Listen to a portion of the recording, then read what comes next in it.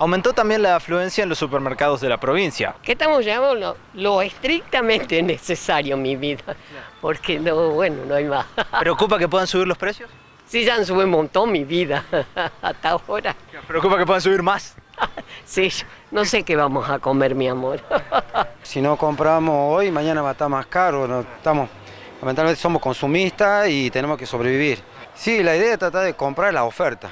Venimos, aprovechamos y fuimos por dos o tres lugares y buscamos lo- las ofertas de la verdura en un lado, eh, la carne en el otro y, y lo comestible en otro lado, porque es así, hay que, buscar, hay que buscar la vuelta porque no se puede vivir así. ¿Cómo está la situación hoy en el súper? Pésimo, todo con aumento.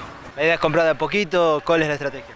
Eh, salir a ver precio en todos los supermercados y bueno, eh, tomar la decisión ahí en el momento, porque cuando vuelve ya tenía otro precio.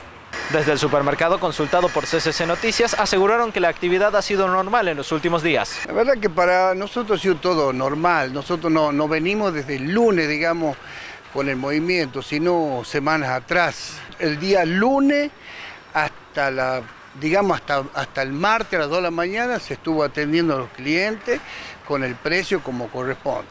Lo demás, sea, ayer, como es de público conocimiento, hubo un incremento, ¿sí? Y en muchos casos hemos tenido góndolas quebradas, como le llamamos nosotros comercialmente, o sea, que han faltado productos, pero no por la falta de, no tener, sino por, la, por el tiempo que no nos daban para poder eh, reponer. Pero lo demás se está tratando, se está trabajando con normal, ronda en, lo que, en los 20, en los 15, en los 10 y en algunos productos no.